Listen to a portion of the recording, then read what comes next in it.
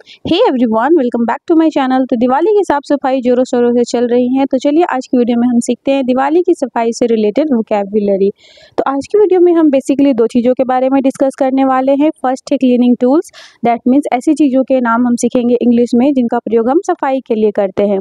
Number two है cleaning work यानी ऐसे काम जो हम सफ़ाई के लिए करते हैं, जैसे झाड़ू पोछा लगाना, जाले साफ़ करना etcetera so without any further delay let start the video number one है साफ़ सफ़ाई। तो साफ़ सफ़ाई करना को हम इंग्लिश में कहते हैं क्लीन या क्लीन अप नेक्स्ट है इनके हैंड में जो ये पोछा है, इसे हम इंग्लिश में मॉप कहते हैं।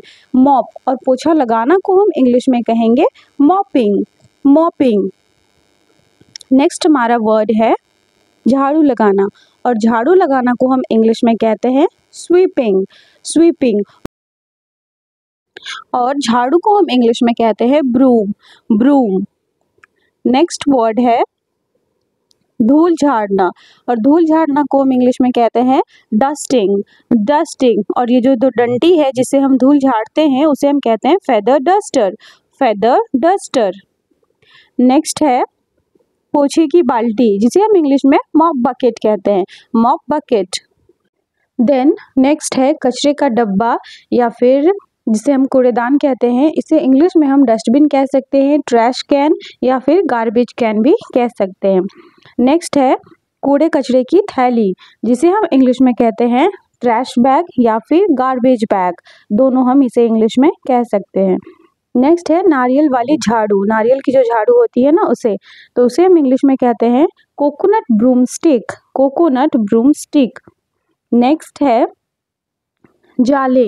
और जाले को हम इंग्लिश में कॉब वेब कहते हैं। कॉब वेब और जाले निकालना को हम कहेंगे रिमूविंग और क्लीनिंग कॉब वेब्स रिमूविंग और क्लीनिंग कॉब वेब्स देन जाले साफ़ करने की जो स्टिक होती है ना, उसे हम इंग्लिश में कहते हैं कॉबवेब रिमूवर कॉबवेब रिमूवर या फिर ceiling duster ceiling duster next है इसे जो साफ़ सफ़ाई करते हैं हम, इसे हम इंग्लिश में कहते हैं vacuum cleaner vacuum cleaner then next है दस्ताने।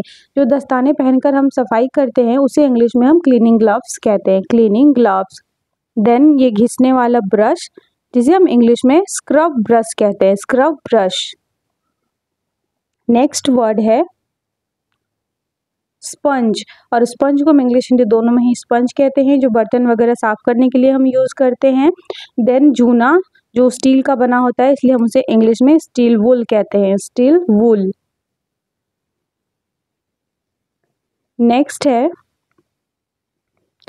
सीसा वगैरह साफ़ करने की जो लिक्विड आती है, उसे हम इंग्लिश में ग्लास क्लीनर कहते हैं ग्लास क्लीनर देन बाल्टी और मग।